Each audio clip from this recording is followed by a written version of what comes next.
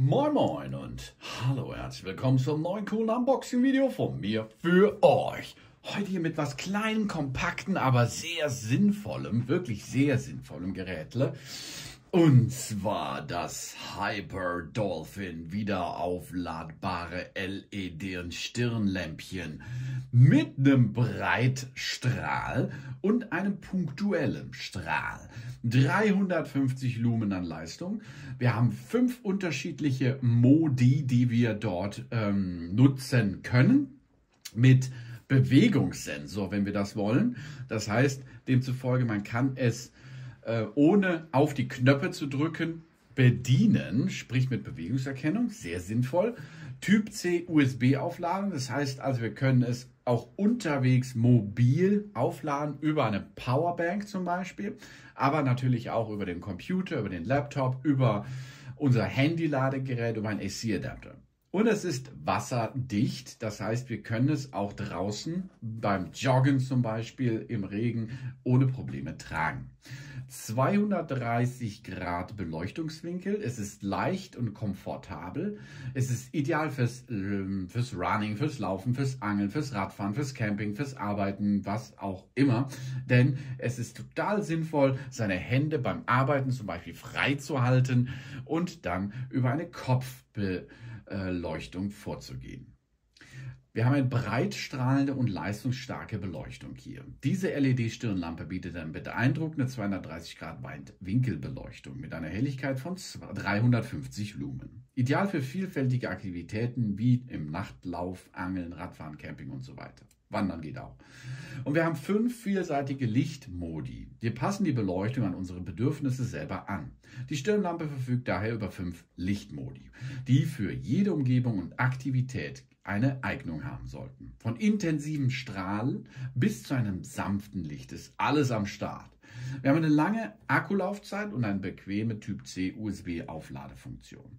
Mit dem langlebigen Akku ausgestattet bietet diese wiederaufladbare Stirnlampe eine zuverlässige Lichtquelle. Das bequeme Aufladen über Typ C USB sorgt für ununterbrochene Beleuchtung bei all unseren Abenteuern und eine innovative Bewegungssensor für eine einfache Bedienung.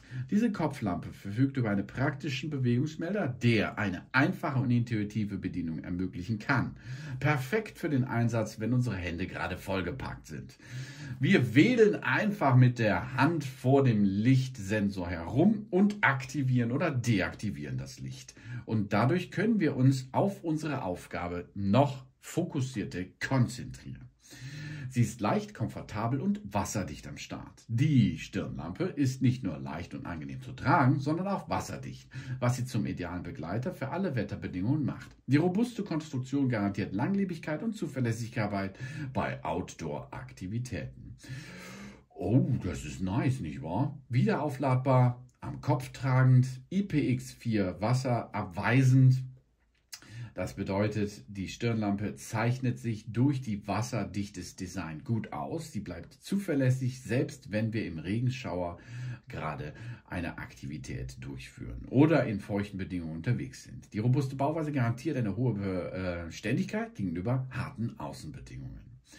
Und das Coole ist, Bewegungsmelder, wasserdicht, ultraleicht, USB-Aufladung. Also ihr seht, viele Fakten sprechen dazu. Wir können es an der Powerbank aufladen, an Ladegeräten, an Computer oder am Auto auch. Es gibt ja zum Beispiel äh, Zigarettenanzünder, Aufladeadapter, die dann auf USB umpolen. Das heißt, damit ist es auch möglich, dieses Gerät hier aufzuladen.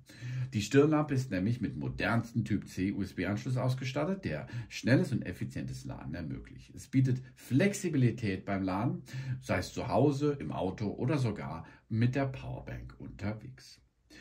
Und die Motion Detection ist wirklich cool. Wir haben einen Wellensensor für eine einfache Bedienung. Die Stirnlampe verfügt über diesen besagten bedienungsfreundlichen, berührungslose Steuerung. Eine einfache Handbewegung schaltet das Licht ein oder aus, was besonders bei Aktivitäten wie beim Angeln oder Radfahren sehr sinnvoll ist, oder? Vier Stunden hoher Helligkeit, das sollte ein vollgeladener Akku schaffen, oder 25 Stunden niedrige Helligkeit. Ihr seht, damit können wir richtig lange auch unterwegs sein. Fünf Stunden bei 100 Prozent, 350 Lumen, sieben Stunden bei 100 Prozent, 150 Lumen, 25 Stunden bei äh, 60 Lumen und äh, Stunden bei Stro ähm, Bus-Coop-Funktion. Süß, oder? Guck mal, meine Hand, das Teil, sehr kompakt, sehr klein hier drinnen. Steht Headlamp drauf, also Kopflampe. Es ist CE FCC ROS zertifiziert. Ähm, schwarz und mit weißen Lettern gesetzt. Mehr steht nicht drauf. Aber ich meine, äh, ist doch gut, wenn es kompakt ist. Dadurch äh, spart man natürlich auch CO2 beim Transport, nicht wahr? Und der Hersteller kann natürlich mehr transportieren. Dadurch wird der Endpreis dieser Kopflampe auch wieder günstiger. So, das ist die Kopflampe HLHLPO1. Schön mit englischer Bedienungsanleitung, wie ihr seht. Wir haben hier die einzelnen Komponenten zu sehen. Wir haben hier den Sensor Receiver, zwei Stück sogar. Ähm, wir haben eine COB8 Bulb, ähm, zwei Stück davon. Wir haben einen XPG Bulb, das heißt also unterschiedliche Beleuchtungstypen stehen hier zur Auswahl, um dort das Produkt aufladen zu können. Ich sehe gerade, es ist Micro-USB, gar nicht USB-C. Aber ist auch nicht schlimm. Es, denn der, ähm, das Kabelchen ist dabei und es polt euch dann zu einem USB-A-Freund um. Also alle sind Butter auf dem Kutter, okay? So, jetzt gucken wir uns die Lampe mal an, wie sie aussieht. Sehr kompakt eingeballert. Und hier, was haben wir? Ein Band, ein gummiertes Band. Guck mal, das kann man dehnen. Das sieht man hier. Passt sich also sehr schön an. Wir haben aber hier hinten auch noch die Möglichkeit, dieses Band sozusagen umzuleiten und dann zu verlängern oder zu verkürzen. Dadurch machen wir ähm, den Umfang für die Einstellung des Kopfes noch sinniger. Und das geht recht einfach. Ich kann das hier durchziehen. Seht ihr, dadurch wird das hin und her geführt. Dadurch wird eine Verkleinerung des Umfangs ähm, dann erzeugt. So, was haben wir hier unten? Hier oben oder unten, ich meine, das ist unten, das ist oben, also sollte dies hier unten sein, haben wir die Ladebucht. In die Ladebucht, diese ist, ähm, weil es ja spritzwassergeschützt ist, hinter einem Gummidichtung versteckt. Auf der anderen Seite haben wir den Anschaltknopf. Ne? Anschaltknopf, um das, die erste Modifizierung zu ballern. Wir sehen hier an der Seite, sehen wir LEDs. Wie viel sind es? Äh, äh, zwei, vier, vier Stück. Das zeigt uns an, wie voll der Akku ist.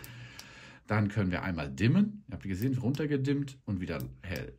Drunter dimmen, hell. Also ganz hell. Na, ihr seht, wir haben ja mehrere LED-Einheiten. Geben Sie mal durch. Es geht sogar rot, wie ihr seht. Cool und stroboskopisch. Nochmal von vorne. Erster Modi ist die Haupt- Kegellampe, ne? also ein kegelartiges Bereich. Dann haben wir die Kegellampe runtergedimmt. Dann haben wir die Seiten, also sprich die, die lang, längs gestreiften Lampen. Das sind 1, 2, 3, 4 LEDs hier, 4 LEDs dort und die sind etwas breit gefächert. Ihr seht ja ein Breitbild der Beleuchtung jetzt, zum Beispiel beim Fahrradfahren. Nochmal drauf drücken, dann dimmen wir dieses Set. Wenn wir dann wieder drücken, geht alles an. Das heißt, wir haben dann die volle Möhre ne, volle Beleuchtungsmöhre. Nochmal klicken, haben wir rotes Licht. Zum Beispiel, wenn ihr Informationen ähm, geben wollt, dass hier hinten ist. Das heißt, also ihr könntet zum Beispiel das hinten ans Fahrrad machen oder auf euren Hinterkopf bewegen, ne, weil das kann man ja auch umdrehen und am Hinterkopf tragen. Dann weiß jeder hinter euch, da seid ihr unterwegs. Wenn ich nochmal mache, kommt jetzt hier das Blinkorgie zum Einsatz, um dann ähm, ja, blinkend zu sagen, hier bin ich. So, jetzt, das sind die einzelnen Modi, die wir ganz einfach über eine Taste durchschalten können. Ne? Nicht zu schnell tippen, dann klappt es auch. Und hier drüben ist die Funktion mit der, mit der Bewegungserkennung. Seht ihr meine, also jetzt gerade ist es aus, wir sehen hier drüben ist ein blaues LED an, ne? blaues LED. Ne? Und dann kann ich das an- und ausschalten. Blaue LED zeigt an, ne? weil ich jetzt mich bewege, geht es an und aus. Blau, blau, blau, blau, blau, du Sau. Blaues LED bedeutet hier Signalisierung. Ne, das Ding sieht jetzt auf mein Gesicht und ich bewege mich ja dabei beim Sprechen. Blaues Licht bedeutet, sind wir im Motion-Weg. Hier sind die LED der Ladefunktion. Jetzt richte ich es mal weg, um euch zu zeigen, wie es funktioniert. Jetzt nehme ich also meine Hände und lasse sie hier vor die Sensoren kommen. Zack, dann mache ich sie an. Zack, dann mache ich sie aus. Zack, dann mache ich sie an. Zack, dann mache ich sie aus. Ey, coole Funktion, wirklich. Ähm, nur wenn ihr damit arbeitet, nervt sie nach einer Zeit. Deshalb, also das kann ich aus eigener Erfahrung sagen. Ähm, wir können das natürlich auch dann mit einem langen Klick an- und ausschalten. Ne? An kurzer Klick, aus langer Klick. Wenn ihr jetzt nicht euch ganz durchtappen wollt, habt ihr das dann auch schon erledigt. Ein cooles Teil, sehr funktional, sollte jeder beim Arbeiten anhaben, beim Laufen, beim Joggen etc. Und hier kommt sie von Hyper Dolphin. Ich sage vielen Dank fürs Zuschauen. Bitte abonniert mich, gebt mir positives Feedback und bis zum nächsten Mal. Sun Sun!